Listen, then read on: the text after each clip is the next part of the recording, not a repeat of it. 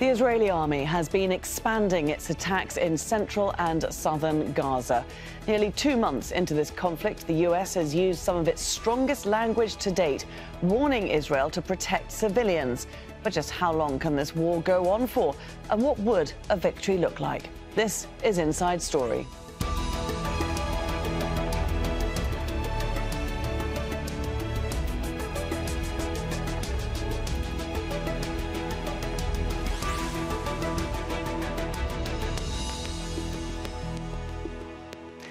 Hello there, and welcome to the programme. I'm Laura Kyle.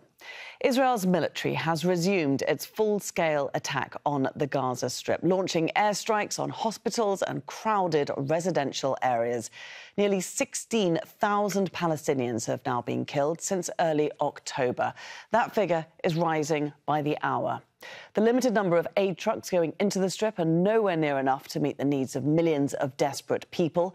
And after nearly two months of war, Israel's biggest ally appears to be changing its tone and warning against civilian deaths in Gaza. US Secretary of Defense Lloyd Austin says Israel risks a strategic defeat if it doesn't do more to protect civilians. It's a sentiment being shared by other senior US officials. So, what's behind this sudden warning from Washington? We'll put that to our guests in just a moment. First, this report from Fintan Monahan. A clear warning to Israel from its most important ally. U.S. Defense Secretary Lloyd Austin made his concerns clear. If Israel doesn't do more to prevent civilian deaths in Gaza, its war is doomed to fail in the long run. You see, in this kind of a fight, the center of gravity is the civilian population. And if you drive them into the arms of the enemy, you replace a tactical victory with a strategic defeat. So I have repeatedly made clear to Israel's leaders that protecting Palestinian civilians in Gaza is both a moral responsibility and a strategic imperative. Just days earlier, the U.S. Secretary of State also urged Israel to adjust its strategy. More than 15,000 Palestinians have been killed by Israeli forces in Gaza, and shortages of essential supplies are making life there nearly impossible. I made clear that after the pause, it was imperative that Israel put in place clear protections for civilians uh, and for sustaining humanitarian assistance uh, going forward. While Israel's Prime Minister Benjamin Netanyahu has admitted his forces have failed to minimize civilian deaths, he places the blame on Hamas. Israel accuses the armed group of placing its military assets in civilian buildings without providing much evidence. Hamas wants to kill as many Israelis as possible and has no regard whatsoever to Palestinian lives.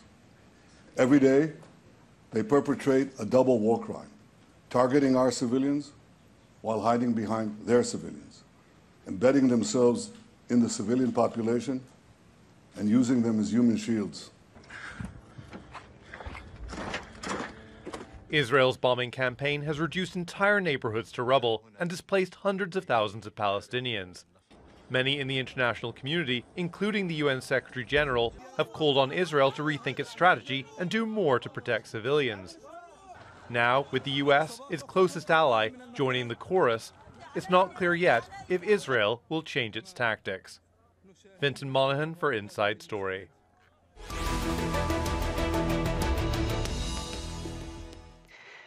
Well, let's bring in our guests now. And in Ramallah, Bushra Khalidi, policy lead in the occupied Palestinian territory and Israel at Oxfam. In Brussels, Elijah Magnier, military and political analyst. And in Cairo, Hussein Haridi, a former assistant foreign minister of Egypt. A very warm welcome to all of you. Elijah Magnier, these are some of the strongest, or are the strongest warnings for Israel to protect civilians that we've heard publicly from the US. Why are we hearing them now? I think it's very interesting to hear that the Americans are taking some distance of what Israel is committing as violating international laws and obvious crimes against humanity and war crimes. It is something very good to hear the Israel, the American officials saying that uh, the Israelis cannot continue killing civilians and they have to be careful how to bomb Gaza. So that is, first of all, an acknowledgement that Israel is indeed killing civilians, and the result is we have 16,000 people killed, of which 70 to 80 percent are civilians. Secondly, it is why the Americans are saying it, and if that uh, serves some purposes. Now, mm. it is not serving any purpose because the Israelis continue the war. If this is going to put an end to the military operation, it is not obviously because yesterday was the most intensive bombardment on Gaza. And what is the final purpose? And to my view, the final purpose is more of a presidential US campaign because there is no strict position that the Americans is taking to tell the Israelis that they have to stop their war on children and women because mm. this is the only tactical victory that they have achieved so far. Hussein Haridi, uh, as a former ambassador and from your time in the Egyptian Foreign Ministry, you've got uh, experience of the diplomatic machinery between the US and Israel. How far do you think Israel is likely to heed these sterner warnings from the US? Uh, at the outset, Madam, uh, let me express my, uh, my, my solidarity with the Palestinian resistance and with the Palestinian people in the Gaza Strip. And my thoughts and the thoughts of many Egyptians, a majority of Egyptians, go out for the more than 16,000 Palestinians mm. who died, who have died under the Israeli bombardment. Having said so, I guess uh, in the not far distant future, the Israeli war cabinet would have to listen, would have to heed the messages, the latest messages coming out of Washington, whether on the part of the United States President Joe Biden or the Secretary of State uh, Tony Blinken, or lately General uh, Lloyd Austin, the uh, the Secretary of Defense. I guess the messages coming out of Washington are loud and clear. We are one step, we are one step away from the American administration calling for a ceasefire. When will now the, the, the, the, question is not whether it would call for a ceasefire, but the question is uh, probably when it will do so. My personal take on the on the positions uh, of the senior American officials is that uh, uh, we could, in the uh, next uh, few weeks, hear the word ceasefire coming out of Washington. Okay, the, let's, let's just get Elijah back on, on that one point there. Do you agree that we're one step away from the US calling for a ceasefire? Because that's certainly not on the table at the moment. Yes, we are very far from a ceasefire because the Israelis haven't achieved any of their objectives. This is why I call uh, so far the Israelis facing a tactical defeat because they claim they have occupied 40% of north of Gaza, of which half of it is an open air agriculture terrain. Secondly, we've seen how the Palestinian resistance are uh, inflicting heavy casualties on the Israeli occupation forces. And third, we've seen every single day the Palestinian resistance capable of bombing different cities and villages, including Tel Aviv. And that happened this morning. And also, we have seen how the release of the captives happened in the heart of the north of Gaza, where the Palestinian resistance is not yet in direct contact on daily basis with the Israelis because the Israelis are too afraid to be in contact in a dense area against the Palestinian resistance. So achieve a calling for a ceasefire now, we are so far away because that means a total defeat for Benjamin Netanyahu, for his right-wing government who threatened to uh, offer a resignation if he doesn't invade all of Gaza mm. and kill all Palestinians, and then he will go directly to jail. It is in the advantage of Netanyahu to continue this war. He expressed are differences with the Americans because the Americans understand that this way has exposed the weakness of what used to be called the strongest army in the Middle East. And it turned out that a bunch of Palestinian resistance confronting this uh, tremendous army that is capable of bombarding, has a tremendous firepower, but is afraid to confronting the Palestinian resistance on the okay. ground. So, okay, Elijah, I will get back to uh, the state of the battlefield in just a moment. Before we get too uh, sort of bogged down in that, I want to bring in Bushra because we need to get in a very clear picture of what we're actually talking about when the US is warning to protect civilians. How much civilians need these kind of warnings for Israel to do more. Bushra, since the ceasefire broke down on Friday, we've seen some of the most intense fighting in Gaza and airstrikes on the south. Can you bring us up to speed with what the people there are suffering, what they're having to put up with? Um, I first want to talk about the sense of safety that has been completely eroded, um, namely in children, because children form part of half of Gaza's population um, and and and this sense of safety is eroded because, of course, it's already eroded from you know six previous military escalations, living under a brutal Israeli you know illegal siege, uh, collectively punishing you know uh, an entire population for over 16 years. Uh, but it's even more eroded because now uh, they have been displaced once, twice. We know of colleagues who've been displaced up to six times um, in the last eight weeks. And, and uh, I have my own uh, in laws that are in Gaza.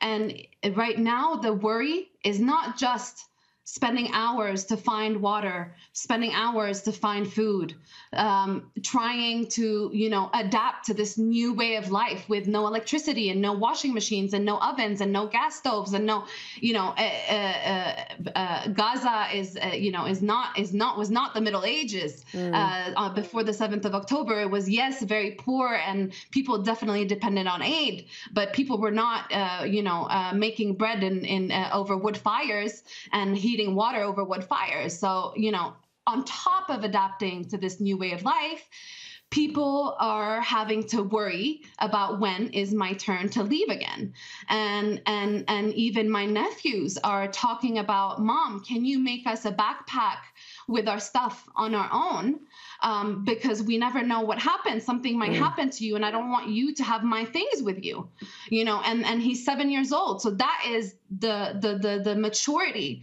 that we're forcing children into uh, in Gaza, uh, and with these uh, multiple evacuation orders with nowhere safe to go, mm. and with a completely collapsed um, uh, wash system, uh, no electricity, and no comm lines. Uh, I think the the mental health aspect beyond being hungry and thirsty is also something that now is beginning to show mm. um, mm. with people just really losing hope.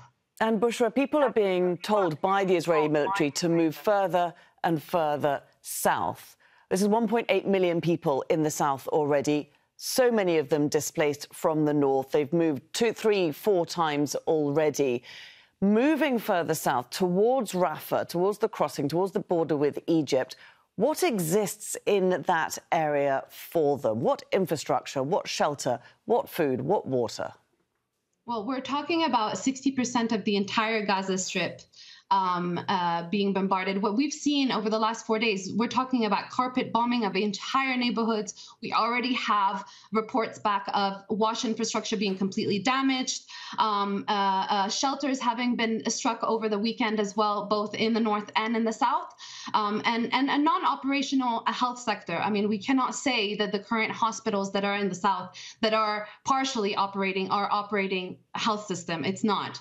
Mm. Um, uh, squeezing people into a place that's uh, ba- basically as big as London Heathrow Airport. We're talking about 1.8 million people in an airport, just so that I can kind of paint the picture to people who don't really understand how small Gaza is. Um, it's already overpopulated. It's actually inhumane and actually uh, not only makes it impossible to deliver aid to 1.8 million people in one place.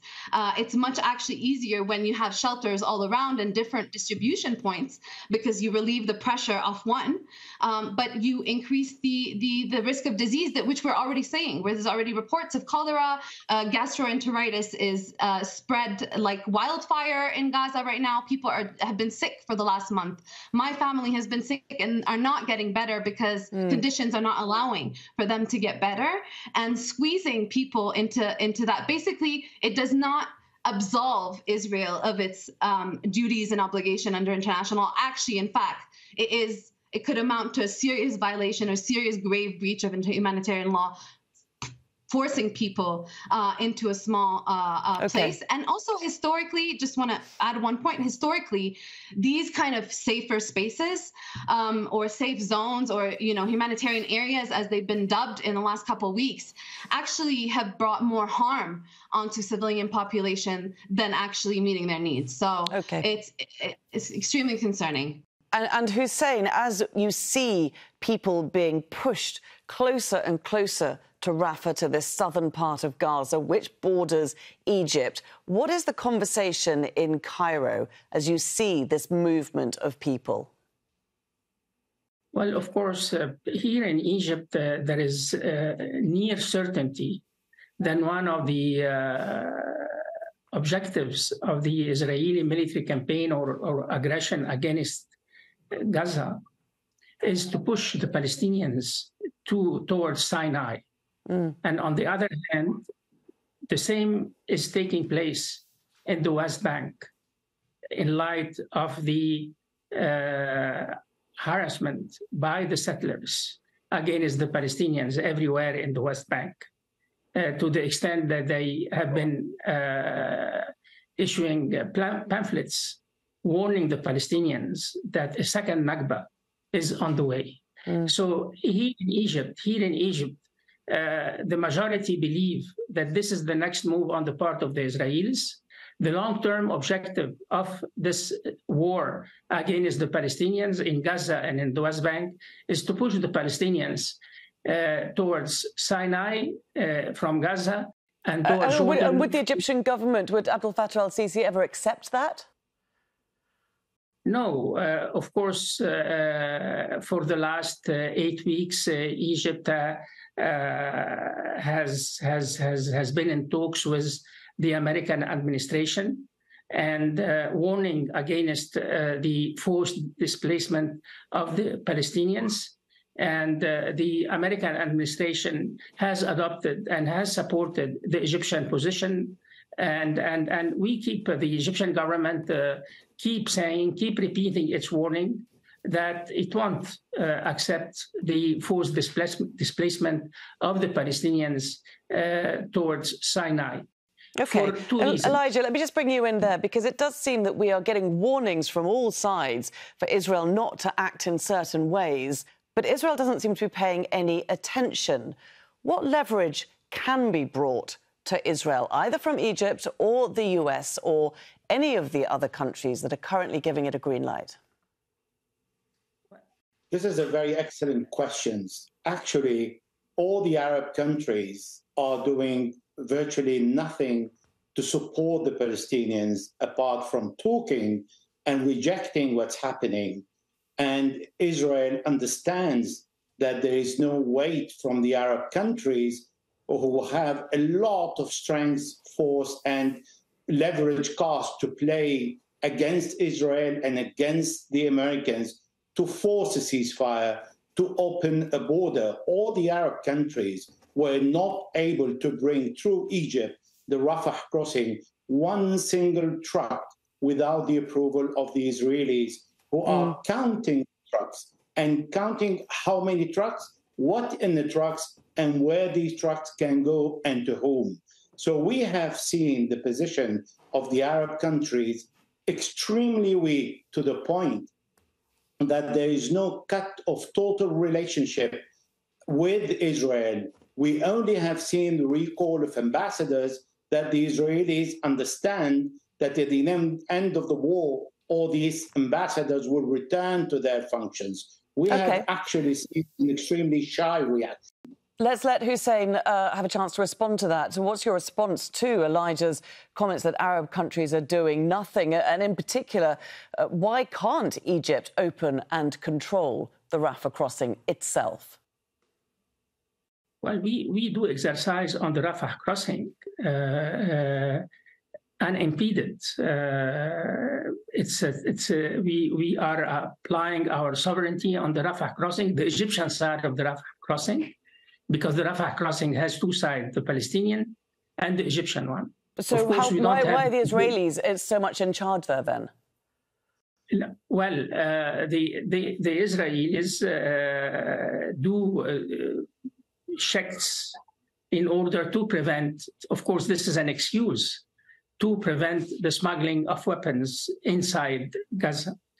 But, but do, do, you agree with those checks at this point in time, given how much they slow up the amount of aid that is reaching Gaza? As we've heard from Bushra, people desperately need more aid to get in, but it is these Israeli checks that are stopping that. That's, that's right. That's right, Madam. And, and that's why we, in our uh, diplomatic uh, conversation with the American administration, we keep insisting, we keep insisting on the absolute need to increase humanitarian assistance to, to Gaza, to, to Gaza. And in fact, the Americans, uh, in, the Americans have uh, uh positively responded to our request, and they have promised before the, of course, the uh, resumption of hostilities in Gaza uh, they promised uh, or they talked about not, not, not less than 100 trucks would enter the Rafah uh, crossing uh, on a daily basis. Mm. So our diplomatic, our diplomatic contacts with the American administration is continuing. And of course, as we as we have witnessed in the last few days, the American position vis-a-vis the overall situation in the Gaza Strip is evolving. And uh, we have noticed that it's it's evolving, albeit very slowly. It's mm. evolving, if, if I may use this term, in the direction that we would like to steer it to, uh, okay, to, to... let's just bring Bushra back into this conversation to again bring this discussion to events on the ground. As you can hear from Hussein, and the reality is that the tone towards the war towards Israel is evolving, but it's evolving slowly it, it, I mean, it can't evolve slowly, can it? There is no time for an no, evolution, it, and there's I no mean, time for promises of trucks. What needs to happen now? I mean, the WHO said that we are at the brink of an epidemic that might kill more people than bombs have. Um, so you know, and it's not just about the trucks, and the trucks, you know, is a, a small need. It's a need, but it's about the crossings in Israel being open. It's about restoring water. It's about restoring electricity from Israel into the strip.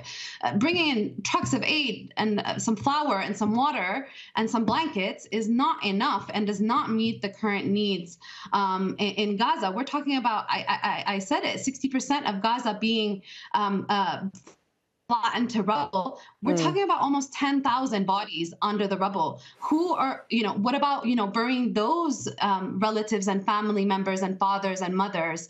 Um, roads are completely damaged, even in terms of delivering the aid through truck um, is, is, is a challenge inside. We're also having checks inside Gaza um, by uh, armed troops. So, uh, you know, it, it, we're in, in, there's a principle of unfettered humanitarian access um, in international law. Uh, all of these are fettered uh, to our access as humanitarians. We're not even allowed in to carry out assessments, um, uh, uh, to carry out uh, repairs. Uh, there's a lot of materials that are not allowed in, uh, very simple materials like the sheets of a wash latrine. We're trying mm. to get in. That's not that's been restricted. So it every every obstacle, and it's much too slow. It's not enough.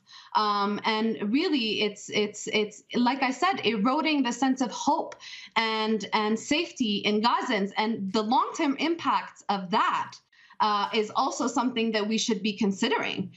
Okay. Um, you know, let's, let's uh, so. bring back Elijah at this point because I want to get back to what the U.S. Secretary of State Lloyd Austin said. He said that the that Israel risks strategic defeat if it doesn't protect civilians more. What does strategic defeat look like? To my mind, it is already a strategic defeat. A bunch of Palestinian resistance in Gaza managed to stop the almighty Israeli occupation forces at the gate of Gaza in a very tiny geographic area. And at the end of the day, it's not bad that the Arabs are not interfering because it seems that the Palestinians can manage on their own to challenge the Israeli army. This is already something that the Americans are fully aware of because they're thinking in a cool head. They understand that the Israelis in 50 days did not manage to occupy and control, because they need to control it, 20% of the uh, residential area of northern Gaza. That is a strategic defeat that Israel has lost its image in the whole world. And it shows how, when you have determined people to stand against the occupation forces, no matter how brutal they are, Israel okay. has managed in, in its war against the children and the women, but not against the men of the Palestinian resistance. Okay, Ambassador Haridi, Haridi, do you believe that Israel has already suffered a strategic defeat, or is there time for a turnaround? Well, I guess after almost almost eight weeks of uh, constant uh, bombardment, uh, with the exception of the uh, seven-day pause that ended the last Friday, they haven't. Uh, the Israeli army, army has failed to achieve the uh, objectives that Israel announced, or the Israeli Prime Minister had announced on October 7th. And he keeps repeating them, namely the destruction of Hamas, the release of the hostages, and to make sure that the Gaza Strip would wouldn't pose mm. a threat to Israeli security. Nothing, nothing of these objectives uh, has been realized so far. And so the Israelis are in a dilemma. And uh, they cannot speak of, of achieving military victory after mm-hmm. eight weeks of uh, non-stop bombardment and the, their tanks entering some major uh, cities in, in the Gaza Strip. So, of okay. course, the Palestinian resistance, the Palestinian resistance is, is, is showing determination and showing there we have to has... leave our discussion today. Uh, uh, Hussein Haridi, apologies for interrupting your final answer there, but we definitely we understood your point. Uh, many thanks to all of our guests, Bushra Khalidi, Elijah Magnier, and Hussein Haridi. And thank you too for watching. You can see the programme again anytime by visiting our website. That's aljazeera.com. For further discussion, do go to our Facebook page. That's facebook.com forward slash AJ Inside Story. You can also join the conversation on X. Our handle is at AJ Inside Story. From me, Laura Kyle, and the whole team here, it's bye for now.